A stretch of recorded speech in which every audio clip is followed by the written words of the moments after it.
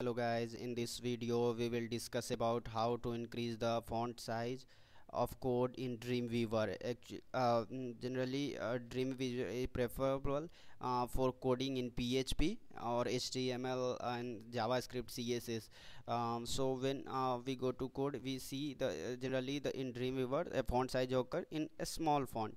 Okay so uh, size uh, so we need to increase the font size.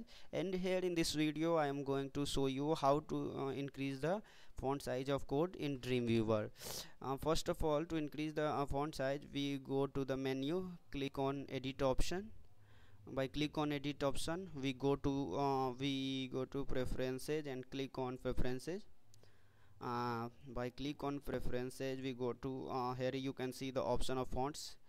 Uh, you can change here like this and by click on fonts we, you can see here I we getting the option of code view.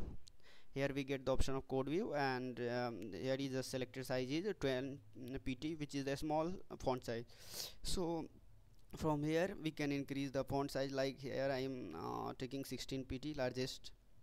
And by click on ok uh, as you can see here how the font size is increased here.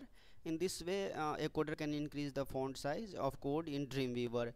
Um, thanks for watching my video. Um, if you like my video please subscribe on my youtube channel. Thanks